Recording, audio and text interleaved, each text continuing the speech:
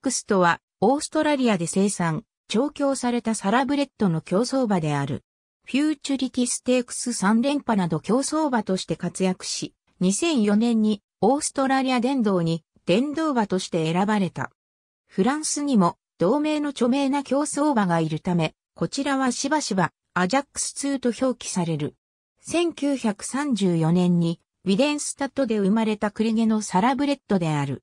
父ヒロイックはコックスプレートなどに優勝した馬で、アジャックスはそのシボバイリ初年度の3区である。2歳頃からシャンペンステークスなどで勝ち、ビクトリアダービーオーストラリアンダービーこそ2着敗れたものの数多くの主要な競争で勝ち案を量産した。1938年頃には春から連勝を重ね、最大で18連勝という大きな記録を作っている。しかし、その次に出走した1939年のローソンステークスにおいて、アジャックスは単勝41倍の大アナスピアチーフに敗れて2着となり、連勝記録が途切れてしまった。この敗戦は、アジャックスを語る上でよく取り扱われ、多くで不可解な敗戦として紹介されている。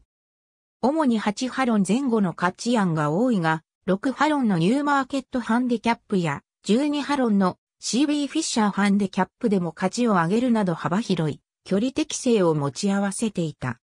勝った競走も現代において G1G2 として格付けされるような大競走が中心で、特にフューチュリティステークスメムジーステークス、アンダーウッドステークスオールエイジドステークスの4、競走は1938年から1940年の間において3連覇を達成している。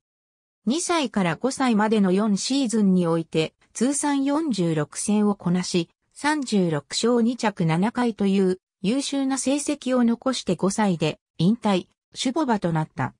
リーディングサイヤーとなった父と比べると活躍したとは言い難い成績であったが、1945年のオーストラリアンダービービクトリアダービーに勝ったマグニフィセント、1950年のオールエイジドステークスに勝ったアキレスなどといった活躍馬も出している。後継の種ボバはあまり流行らず、現在アジャックスの不景はほぼ見つからない。1948年にアメリカ合衆国へと輸出された。少なくとも数年間は種ボバとして供用されているが、それ以降の消息、及び死没年などは不明である。後の2004年、オーストラリア競馬名誉の殿堂は、その競争成績を称え、アジャックスを殿堂馬の一頭として選定している。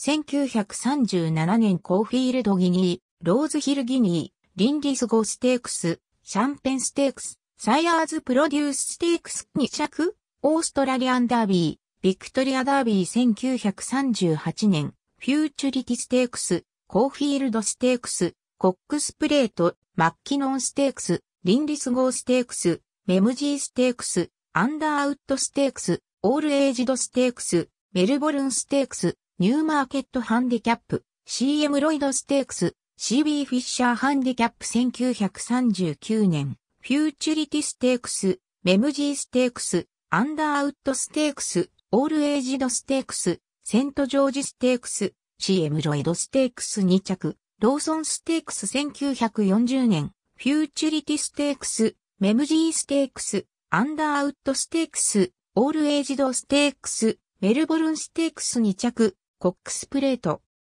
ありがとうございます。